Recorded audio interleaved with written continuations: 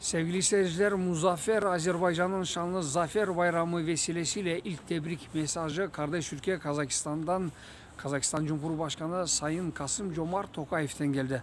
Sayın Tokayev'in göndermiş olduğu tebrik mesajı Azerbaycan Cumhurbaşkanlığı sitesinde yayınlandı.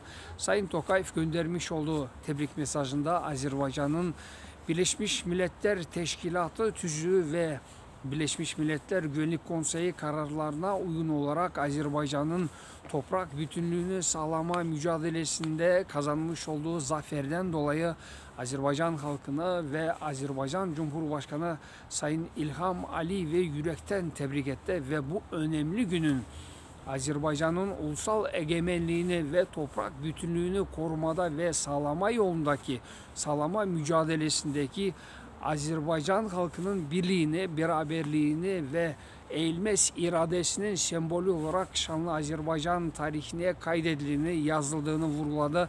Sayın Kasım Comart Tokayev göndermiş olduğu tebrik mesajında ve aynı zamanda önümüzdeki süreçte de Azerbaycan ve Kazakistan arasındaki dostluk, karşılıklı destek ve stratejik ortaklığın daha da derinleşeceği konusunda e, temennilerde bulundu. Kazakistan Cumhurbaşkanı Sayın Kasım Comart Tokayev ve aynı zamanda Sayın İlham Aliyev mevkidaşı Sayın İlham Aliyev e, görevinde yeni yeni başarılar, zaferler ve aynı zamanda Azerbaycan halkına da birlik ve beraberlik e, temennisinde bulundu. Sayın Kasım Comart Tokayev göndermiş olduğu tebrik mesajında.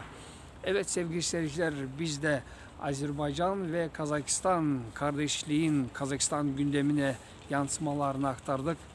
Biz de Medyatürk Televizyon kanalının Kazakistan bürosu olarak Can Azerbaycanlı şanlı Zafer Bayramı'yla canı gönülden tebrik ediyoruz.